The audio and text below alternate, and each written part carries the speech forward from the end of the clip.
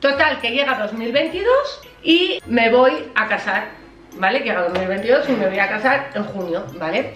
Y yo quería, que aquí empiezan las preguntas de la cajita de respuestas de la red social, casarme embarazada, como mi madre se casó conmigo, pero porque era una ilusión, no sé, era como un homenaje a mi madre. Entonces empecé un tratamiento de fecundación in vitro, me hicieron la transferencia, como ya sabéis, y no cuajo. Nos casamos, nos vamos de viaje, 2022, ¿vale? Nos casamos en junio, no, me voy de viaje. Luego, en julio, y estando de viaje, me voy a meter en mi cuenta y veo 00 os lo juro por Dios. O sea, así, radical, ¿vale?